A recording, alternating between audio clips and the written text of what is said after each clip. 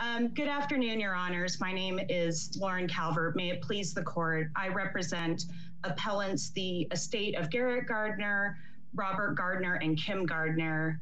Um, I regret to inform the court that uh, Mrs. Gardner recently passed uh, following a long battle with breast cancer. And should this matter be remanded, we will take appropriate actions to substitute in her estate in place of her the key issue in this case isn't a, a very complicated one. It's whether respondents, as the moving parties in the lower court, met their initial burdens of production and the ultimate burden of persuasion on their respective motions for summary judgment pursuant to Nissan Fire um, and Marine. To meet this burden, each of respondents was required to present admissible evidence negating an essential element of appellant's case or to show that appellants did not have sufficient evidence to carry its burden uh, of persuasion at trial. Uh, the district court ruled plaintiffs had the ultimate burden of persuasion at trial without evaluating um, uh, I'm sorry, without evaluating the moving parties, respondents here, their, their burden of production and persuasion on the MSJ. The party here that most clearly that hurdle was was NaphCare. They fought, they failed to cite to any particular portion of any pleading, affidavit, deposition, interrogatory answer, or any other evidence. There's no citation to the record in their statement of facts, um, and these failures alone justified a denial of their MSJ. NaphCare conceded its MSJ did not comply with Rule 56 or our local Rule 56 1. Um, Counsel, could you uh, enlighten me a bit here about the evidence on the melanoma itself? Uh, I, I, we can find scant evidence of any uh, of the character, uh, classic characteristics of melanoma. Could you tell us what evidence there is on that point? Yeah, and unfortunately, Your Honor, there's a lot of conflicting evidence. There were a number of experts well, how about uh, what about uh, telling me what the evidence is in the light most favorable to your your party? Sure, I think um, the two, the two I don't see how your help might conflict.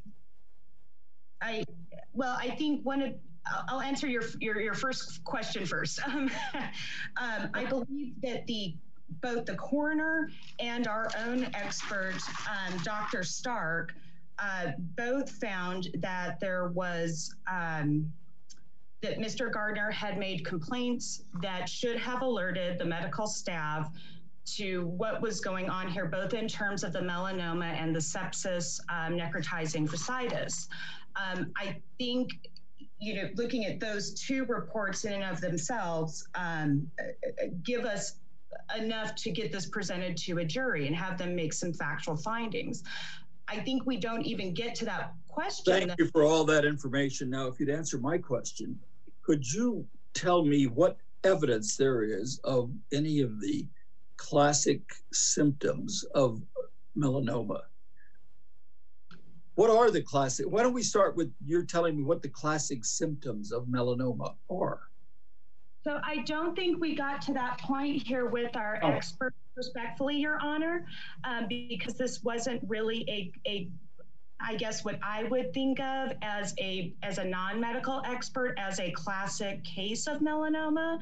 Um, he had, um, you know, not kind of the skin lesions and different things that one would think of with, uh, I guess, a, a quote unquote classic case of melanoma. Well, can melanoma be expressed in different ways? And is there evidence in the record for us to review on that point? I think that's really what the experts here disputed, Your Honor.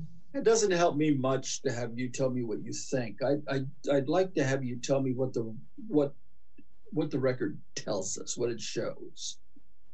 I would I can pull up their expert reports and tell you, but there's there are literally six or seven different expert reports, and they all differ on what the expression of melanoma was here. Um, essentially, it was internal, and one of the theories is that um, you know, these lesions then were were internal, and then that's what um, allowed the sepsis and necrotizing fasciitis to then take hold. Thank you. And uh, the other question I had is uh, what is the general pathology, or or better stated, the the path of melanoma in terms of its duration prior to the ultimate death of a patient? I believe that there were also differing opinions on that as well, Your Honor, contained within the different expert reports on on what that would be. All right. What is your evidence on point? Our, our, our expert largely pointed to statistical studies on if this had been correctly identified and treated through easy measures, that um, there was a very high likelihood that Mr. Gardner would either have lived at least five years or would still be alive today. Thank you. So, what is it that should have been apparent or even was apparent but was ignored so, that alerted the defendants to the necessity to either to provide treatment or to investigate further? I mean, there has to have been something to alert them that there was a problem to which they had some obligation to respond. So, what is it that was that we have evidence of that they were deliberately indifferent to? So Garrett Gardner um, actually filed a kite saying that he was in extreme pain, um, that he believed he had a dislocated back. One thing that's important to note is that Mr. Gardner had um, a very advanced case of bipolar schizophrenia, which he was not uh, taking medications for uh, nevertheless, he still somehow um, was able to get a kite put out saying he was having all of these severe symptoms. In response to the kite, there was something. They basically said they said take some Tylenol. Correct. That is correct, Your Honor. And the day before, they were supposed to have a regularly scheduled visit with Mr. Um, Gardner. However, that never occurred because he didn't answer the door, even though he was in a holding cell where he was supposed to be monitored every uh, 15 to 30 minutes uh, through a small little window. Uh, but nevertheless, the nurse did not find it alarming that he didn't answer the door to uh, get his regularly scheduled uh, uh, health checkup. The, the only thing I'm seeing on this, um, it's titled medical dental psychiatric request he says dislocated back and side with swelling and cramps and shortness of breathing. Is that what you're saying is the uh, what, should have made them aware of the melanoma? Correct. So that would be what he submitted through the kite system, essentially saying he didn't feel well and wanted some medical treatment. Um, I believe it's probably not as sophisticated as a person who was either not afflicted um, bipolar schizophrenia or someone who was actually taking their medication might have um, you know stated the the problems health problems that they were having. You said something about he stated he was in extreme pain. Was that in a different document? So there's a couple as I go through my notes here. Um, the UMC records, as well as some records of NaphCare, um, state that he had been having prolonged weakness, that he had decreased weight and fluid intake for six months, trouble walking for two weeks. Um, and those are the records of the um, interview with him when he was taken to the hospital on the 21st. Um, so right before the, the 10 days leading up to his death. Is that correct? It, that as well as some of NaphCare's internal records, but I think those were probably taken as his um, uh, after he had fallen ill reporting those. I'm, I'm not exactly sure that those would have been um, contemporaneous with the actual weight loss and difficulty walking, et cetera. Now, with respect to your suit against the police department, uh, you've got to provide something under Monell of policy, custom, or practice. You can't just show that the individuals in the prison themselves were acted deliberately indifferent, which they may or may not have been. But even assuming for the moment that the individuals in the prison were deliberately indifferent, you've got to show that, uh, with respect to that defendant, the police department, that this was pursuant to a policy or custom. What evidence do you have of that? I think we have two points on that, Your Honor. One is that pursuant to Tsao v. Desert Palace, if NaphCare remains liable, essentially so does LVMPD because the actions um, there, as in with Tsao, uh, uh, Desert Palace qualified as um, attributable to LVMPD because of uh, cooperation and interdependence, including uh, a, a, training course that it was um, uh, being given. We believe the facts are similar here. In, you know, NaphCare is essentially a state actor and it is carrying out uh, LVMPD's functions. The other is that we do have several policies and procedures that we pointed out in our motion for summary judgment, as well as our oral argument that we believe uh, led to the deliberate indifference. Um, so one is that they had a, a policy on checking on vulnerable detainees as per the Gordon case that we cite.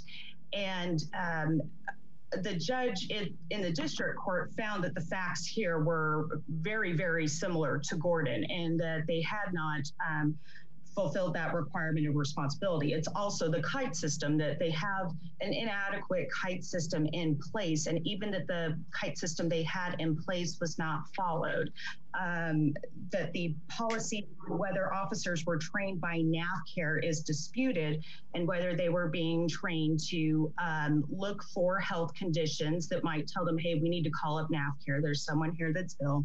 Uh, that was completely disputed on whether that even occurred or not, let alone the adequacy. Um, and then the ability, ability to make medical requests through the kite system was deficient for persons that were um, incompetent because not taking their psychological medications. In addition, there was no infectious disease control policy per the 30B6 uh, designee, Ms. Butler. And I see I'm at under three minutes. About three minutes. Why don't you reserve? Now let's hear from the other side. I'm not sure which one of you wants to go first, Mr. Ms. Ms. Anderson or Mr. Vogel. Uh, good afternoon, Your Honors. Uh, we, we spoke beforehand, and we're going to split our time seven minutes for, for NaphCare, eight minutes for uh, the police department, if that's all right with you folks. That's fine. Sure. Please go right ahead. Thank you. May it please the court and counsel. My name is Brent Vogel on behalf of NaphCare. And uh, in this case, the appellant's complaint alleges you know, a constitutional, uh, constitutional violation of Mr. Gardner's right to receive adequate medical care. Specifically, what they're arguing is that NaphCare had knowledge that Mr. Gardner had polymicrobial sepsis and malignant melanoma and chose not to provide care. And if you look at the EOR, page 17 of their complaint, that is the specific allegation they make. They don't make allegations about there being inadequate mental health care. And the court below, uh, Magistrate Leen, she correctly granted summary judgment for the defendants using the correct standard. She used the objective standard for deliberate indifference as the evidence produced in this case failed to, you know, it failed to demonstrate a constitutional violation of his right to receive adequate medical. Noted that there was no evidence in the record indicating that this young man had uh, symptoms of a bacterial infection, malignant melanoma, or any other serious medical condition before January 21st when he was found in his cell on the floor uh, with his swollen arm, and he was immediately sent out to the hospital. What, what obligation, if any, did your client have to do a sort of a not mental health, but physical health screening when someone comes in? And was any screening done when he came in?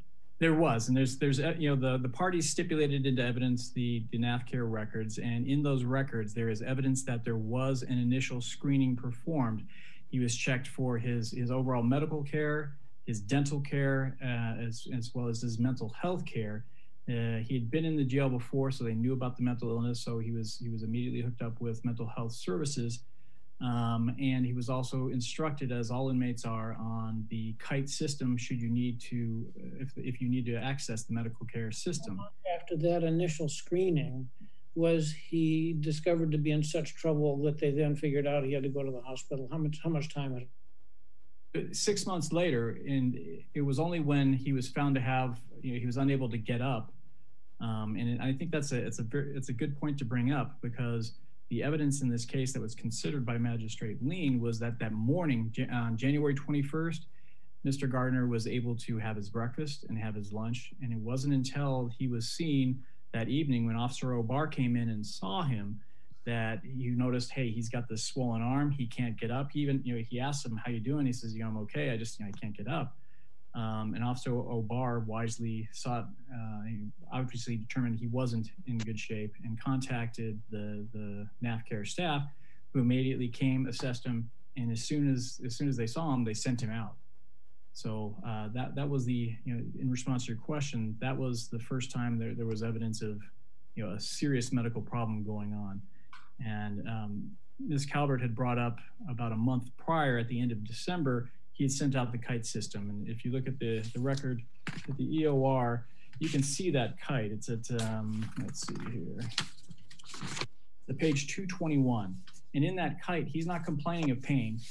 He's complaining that he has uh, dislocated back side with swelling and cramps. Now, I think you can imply that there's some pain, but he does get checked out. And the record um, at page 255 shows that the, the staff went and visited him and the, there's there were no significant physical findings found on that date and he was told hey get motrin or advil from the canteen. It wasn't found to be a serious medical condition based on the evidence in this case. And what's what's interesting also on that date uh, he also expressed having suicidal ideation so he was also seen by mental health providers and they don't notice they don't note any sort of physical findings on on that same page 255 as well and were there ever any physical findings suggestive of uh, external physical manifestations of uh, any type of cancer? I, am sorry, Judge Lucero, I, I didn't hear the first part of your question. Were there ever any physical manifestations of any type of cancer? No, there were not. You could actually see. I don't mean his physical condition and, and, no, there weren't. And what's what's key, what's what's a key piece of evidence on that point is even when he gets to the hospital at University Medical Center, they they can't they see no evidence. There's no external evidence. There's no lesions. There's no evidence that he's got some sort of well that he's got melanoma. And you would ask Mr. Calvert, what are the you know, what are the the common signs of melanoma, the typical signs are you'll have you know a mole or some sort of lesion that starts acting unusually, either bleeding, spreading, growing, things along those lines. You have none of that in this case. And even the coroner found that there was no external uh, there was no external evidence of melanoma. It was a very unusual presentation, nothing that would have been obvious to a layperson that he had a serious medical condition going on. Hmm. So you know, when you when you look at the totality of everything that Magistrate Leen looked at with respect to the, the, the evidence in this case, it really was not until January 21st that we've got an issue that says, hey, this this this per, this person he needs some urgent medical care now, and you know, and key really key on that point is he was seen on the 18th by uh, a mental health provider, and there was no complaints of any sort of pain or swelling on that day. Uh, the next day, on January 19th, he's seen by a psychiatrist because he, you know, he had expressed some suicidal ideation, so they put him back in isolation. And there's no complaints to the psychiatrist on that day that he's having any sort of pain, swelling, or any sort of uh, complications that would be consistent to what was what was found on the 21st. Again, again, the next day on the 20th, he's seen by a nurse. And again, there's there's no complaints of any sort of physical pain, inability to get up, walk around, move, eat, anything like that. In fact, they note that he is able to eat and that he is feeling generally okay. And in fact, on that date, he wanted to move back to the general population, and he was. So it's it's interesting that um, there's, I think during the time he was there, excuse me, there were about 66 times he had contact with the with the health providers. And it wasn't until that last visit uh, that there was any evidence that he had any sort of serious medical condition going on. Okay, thank you. Uh, we'll now hear from Ms. Anderson. Good afternoon. Getting back to Judge Lucero's point, um, I just wanted to give you the citation.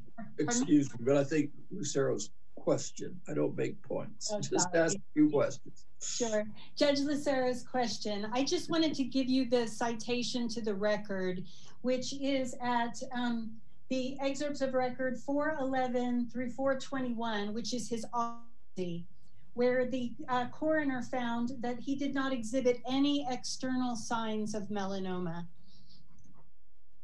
Just wanted you to have an opportunity to see that. As the court understands, this is a deliberate indifference to serious medical needs case. It's a high standard of proof. And typically in these cases, we see arguments being made that treatment was denied, that treatment was delayed, that there was interference with treatment, or that there was somehow a failure to investigate a known medical condition such that you know you got to where you needed to go in terms of treatment. We don't have any of that in this case. Instead, at, at, uh, at some point, uh, he, I'm referring here to a quote, I think from uh, a Robert, that quote, although I was only able to look at him momentarily while, walking in, he was in the furthest front left seat. He looked extremely unwell. He appeared thin, pale, disheveled, troubling to Ryan and me. What date was that statement made? That statement was made at a court hearing in late December. I don't have the exact date in front of me, but I believe that it predated his kite. However, I would point out to the court that the same day of that court hearing, Garrett spoke with his parents, the, the affiants in that affidavit, on the telephone. There is no mention made at all in the phone call where Garrett is communicating to them that he is weak or cannot care for himself or needs medical treatment or that he needs help in any way. I am asking that question in terms of causation. Uh, from the date, uh, assuming that that date is an operative date when the condition was either known or should have been known, uh what is the time period from that point to the uh, point at which he is finally sent in for help, uh, for uh, medical help? It would be a minimum of 25 days. I would say it's less it's it's within a month's period of time between the time of that hearing and the date that he ultimately uh, exhibited symptoms and went to the went to the hospital. Um, All right. In, and, and, and what is your argument with respect to causation on that point? Well, with respect to causation on that point, again, I would I would just simply point out to the court that first of all, he was not he was well aware of how to ask for help in the jail. We there are repeated references in the record where he is asking for he's talking to corrections officers, letting them know that he feels like um, he has suicidal intent and that he wants to that he that he wants to see a, doctor. There are there are referrals from the corrections officers to the medical staff. There is the kite that he that he submitted on the 27th, which was after that court appearance.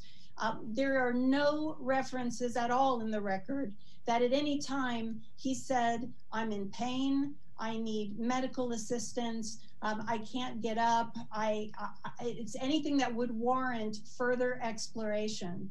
Um, in addition to that, from the time that he, from the time that he was at that court hearing until the time of him being discovered in his cell, he was seen by psychologists and nurses a minimum of 20 times I mean, he was seeing people regularly for health care, whether it was psychological care or just general, you know, administration of medication. There were you know, just dozens of opportunities for him if he was in fact exhibiting symptoms to, you know, to as to say that he needed help.